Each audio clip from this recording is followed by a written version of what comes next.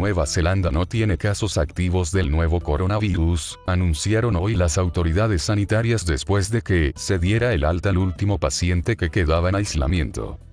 El país oceánico regresará el martes a la normalidad, anunció este lunes la primera ministra, Jacinda Ardern.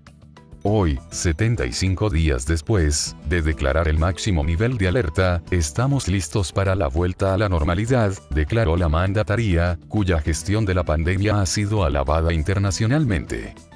El director general del Ministerio de Salud, Ashley Bloomfield, lo interpreta como un éxito del que todo el país debería sentirse orgulloso.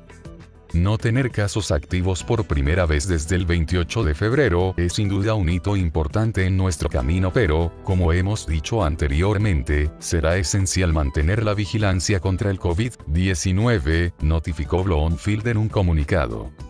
Nueva Zelanda ha sido elogiada por su respuesta a la epidemia de coronavirus, que pasó por un confinamiento estricto de siete semanas hasta mayo. No hay constancia de nuevos contagios desde hace 17 días. El archipiélago del Pacífico Sur, con una población de 5 millones de habitantes, contabilizó 1.154 casos confirmados y 22 muertes. Hace una semana que solo quedaba un caso activo.